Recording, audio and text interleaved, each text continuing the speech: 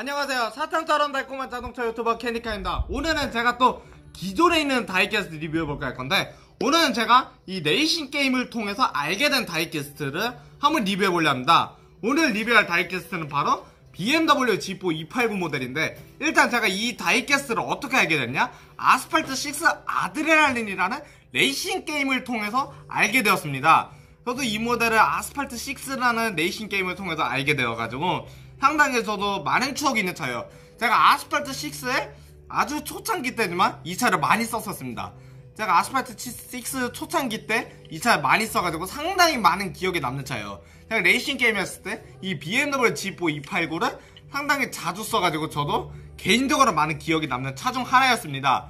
이제는 본격적으로 이 BMW G4 289의 전면부터 보도록 하겠습니다. 바로 보시죠. 자, 전면부를 보시면 전면부에 헤드램프도 역시 clear parts가 들어가 있는데요.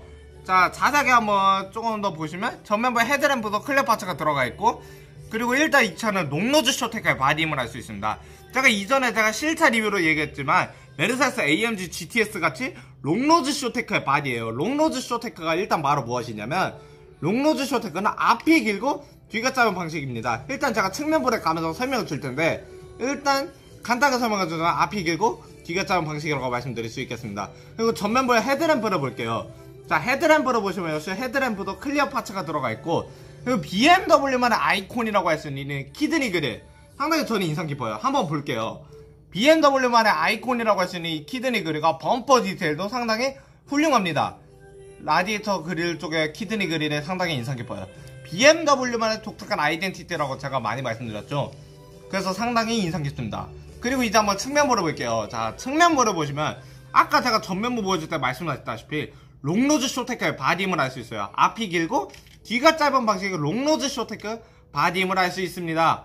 그리고 한번 전체적으로 로고 printing도 상당히 깔끔한데요. 자, 로고 printing 자세하게 볼게요.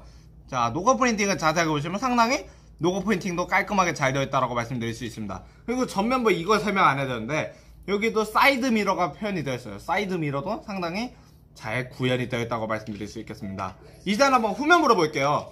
자, 후면부로 보시면 후면부에 니어 램프도 역시 clear parts가 들어갑니다. 후면부에 rear 램프 clear parts 게다가 전체적인 로고 painting이나 배기구도 듀얼 머플러로 상당히 훌륭하게 표현이 되어 있어서 마음에 드는데 그리고 여기 쪽에 측면부로 아까 이거 설명 못해드렸지만 도어 트림하고 주유구 표현도 상당히 깔끔하게 잘 되었습니다. 여기 쪽에도 마찬가지로 도어 트림도 상당히 잘 표현되었어요. 가까이 와서 볼게요 한번 보시면 도어 트림도 상당히 잘 되었다라고 말씀드릴 수 있겠습니다. 그리고 한번 이제 본격적으로 실내를 볼 텐데 일단 이 모델은 좀 아쉬운 점이 하나 있어요. 실내를 보기 전에 아쉬운 점은 바로 도어가 열리지 않는다? 그 점이 솔직히 저는 좀 아쉽습니다. 도어가 열리지 않는 것을 제외하면 크게 아쉬운 점은 없어요. 자 한번 실내를 보겠습니다. 자 실내를 보시면 역시 상당히 내부 디테일은 좋아요. 도어가 안 열리는 것을 제외하고는 상당히 흠잡을 데 없는 내부 디테일입니다. steering 표현과 뭐 전체적으로 기어 변속기 그리고 전체적으로 실내 내장재 표현까지 상당히 잘 훌륭하게 구현이 되어 있어서 저로서는 상당히 흠잡을 데가 없었습니다. 그래서 이젠 이 BMW Z4 E89 다이캐스트에 대해 제가 total적인 평가로 말씀드리겠는데요. 제가 솔직히 느꼈을 때 이 BMW Z4 E89는 전체적으로 흠잡을 데는 없었습니다.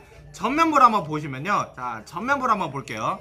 전면부에 헤드램프나 역시 clear parts 표현이 들어가 있고 그리고 BMW만의 아이덴티티라고 할 수 있는 이 kidney 그릴도 상당히 디테일하게 표현이 되어 있을 뿐더러 범퍼도 상당히 스포티하게 잘 표현이 되어 있습니다.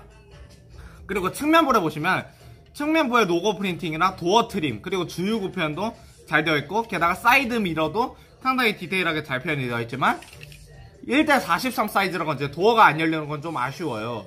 그 점을 제외하고는 저는 아쉬운 점 없어요. 왜냐? 후면부의 rear램프도 clear parts 게다가 로고 printing과 그리고 적절한 마감 처리까지도 상당히 훌륭했고요. 내부를 한번 보시면 내부도 상당히 도어가 열리지 않는 것을 제외하고는 크게 아쉬운 점은 없다 그렇게 생각이 들었습니다. 그래서 오늘 이 BMW G4 289 다이캐스트 리뷰 영상은 여기서 마무리해 짓겠습니다. 다음번에 또 좋은 다이캐스트 리뷰와 좋은 실차 리뷰로 만나뵙겠습니다. 그럼 다음번에 만나요. 안녕